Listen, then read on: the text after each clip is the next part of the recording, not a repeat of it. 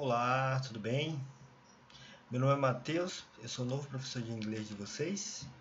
Eu vou estar acompanhando vocês esse ano letivo. É, eu quero, quero começar desejando um feliz ano novo para todos vocês. Aos novatos, sejam bem-vindos. É, eu espero que seja um ano muito bom para todos nós e muito produtivo também. Como nós estamos de modo remoto, como nós não vamos ter esse contato é, de maneira presencial, eu estou deixando aqui embaixo o meu e-mail, onde vocês vão estar mandando, além das atividades, vocês podem estar mandando dúvidas, vocês podem estar mandando questionamentos, eu vou estar sempre respondendo vocês, e vai ser uma forma de eu estar conhecendo vocês aos pouquinhos, tudo bem?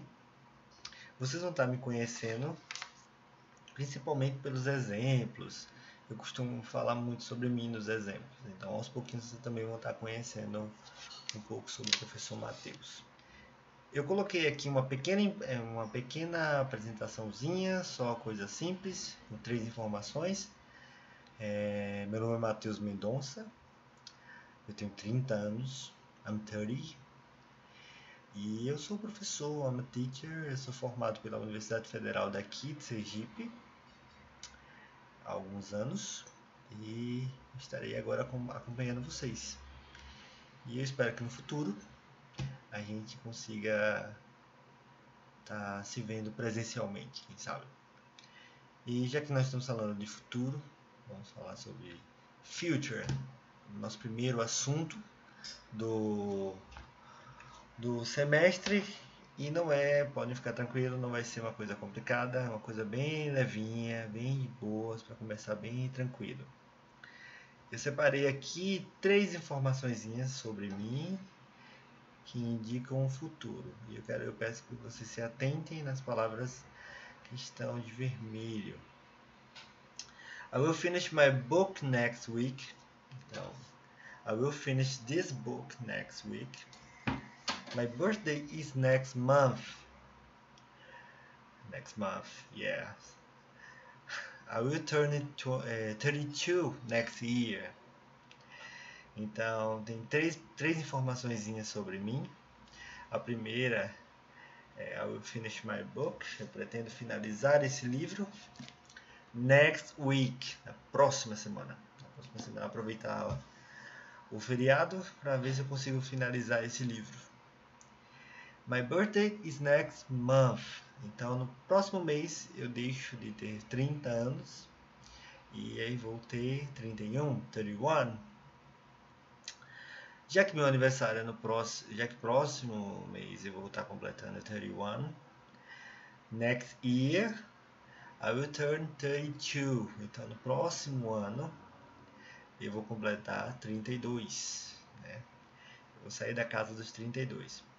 Então, esses três, esses três, essas três é, sentenças têm indicadores de tempo aqui. Next week, next month, next year.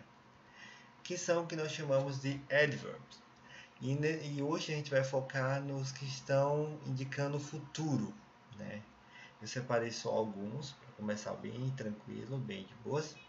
Tomorrow, tomorrow, next week, next week, next month, next month, next year, next century.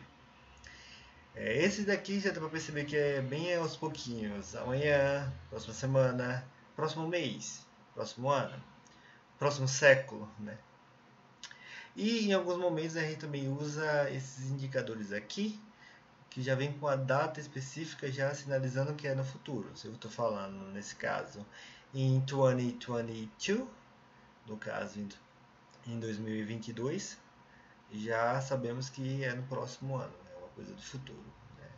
Que esperamos que seja um ano melhor do que 2021 e 2020. É, mas eu queria só lembrar um pouquinho de vocês, eu acho que vocês viram isso no ano passado, espero, que é, time adverbs podem indicar passado, presente e o futuro.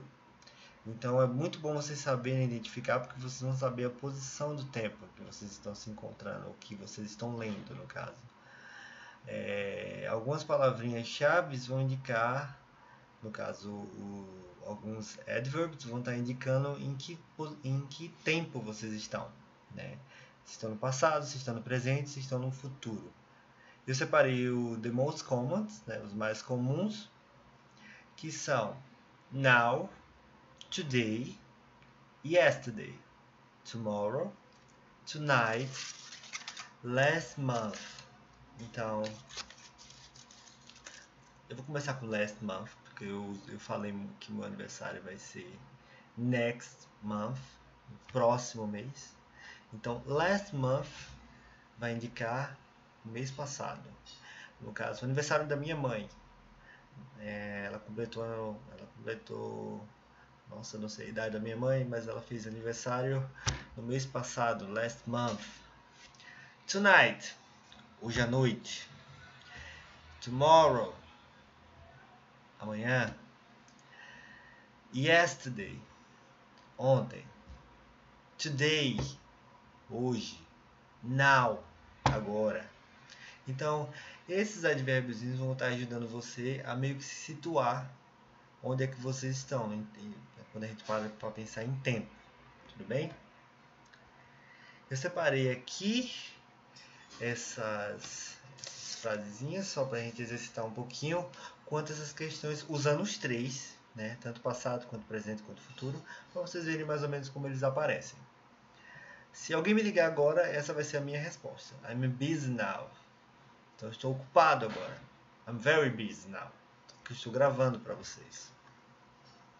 Se eu tiver algum probleminha, estiver me sentindo mal e eu decidir procurar um médico, Can the doctor see me today? Eu vou estar ligando para um pro escritório, escritório, não, consultório do médico e fazendo essa, essa perguntinha. Can the doctor see me today? Ele vai conseguir me ver hoje? Me atender hoje, no caso. Where were you yesterday? I didn't see you. Eu, essa é uma pergunta que eu costumo fazer para os meus irmãos, porque nós não moramos na mesma casa. Então eu costumo perguntar onde eles estavam ontem, porque eu não os vi. Então, isso aqui indica o que? Passado. We are playing basketball tomorrow.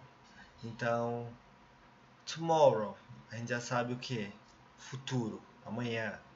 Então, provavelmente amanhã nós estaremos jogando basquete, basketball.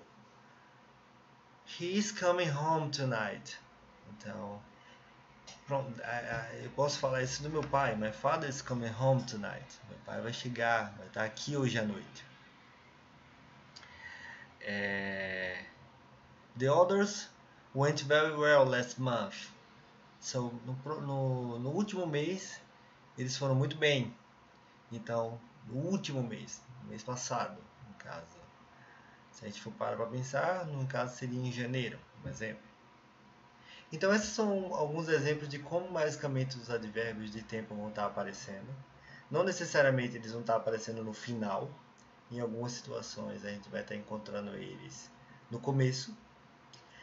A gente, no caso, vai estar aprendendo essa parte inicial do livro de vocês a gente vai estar tá focando nesses daqui, o que indicam futuro, tá?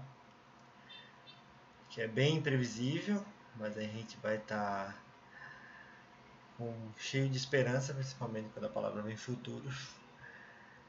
Então eu trouxe algumas frasezinhas pra gente. Vamos, acredito que vocês conhecem. Conheçam ela, né? Rainha Queen Elizabeth II ou, aqui em português, a gente costuma chamar ela de Rainha Vitória. Rainha, não, Rainha Isabel II, se eu não me engano. É, nós, nós traduzimos o nome de algumas personalidades importantes na, nos livros de história. Então, ou vocês vão conhecê-la como a Rainha Elizabeth ou como a Rainha Isabel. In 2026, the Queen will be complete, will complete 100 Years. Então, em 2026, ó, a rainha inglesa vai estar completando 100 anos, 100 anos de idade. Oh, eu não sabia que ela era tão antiga.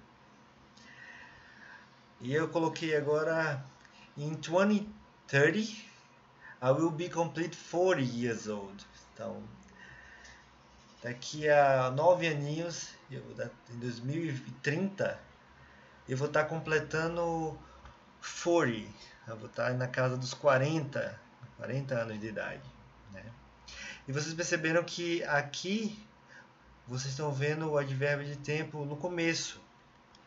No, aqui vocês viram que geralmente eles aparecem no final e é realmente é uma, muito mais comum eles aparecerem no final das frases, mas em algumas situações vocês vão encontrá-lo encontrá-los na frente.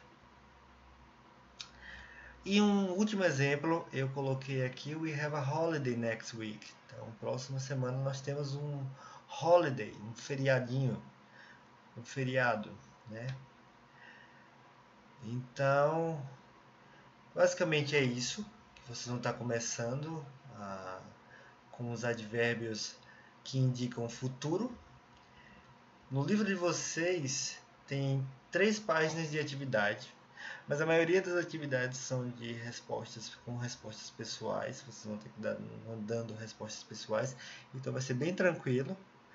Então eu peço que vocês respondam essas atividades, eu peço que vocês me enviem essas atividades para eu poder estar tá fazendo a correção e estar tá conhecendo um pouco mais de vocês, tudo bem? Principalmente porque são respostas pessoais e dá para gente estar tá se conhecendo. Bom, eu vou desejar para vocês um bom carnaval, né? um bom feriado. Se cuidem no carnaval, tá? Forte abraço e até a próxima aula. Tudo bem? Tchau, tchau.